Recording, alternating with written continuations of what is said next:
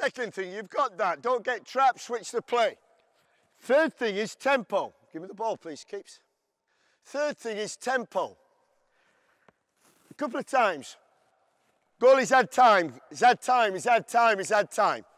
When you've got time, all right, unless you do it quickly, time, if you see something, oh, right, nothing on, nothing on. All of a sudden, if you just go tip and then back, back, so you keep the tempo, the picture changes.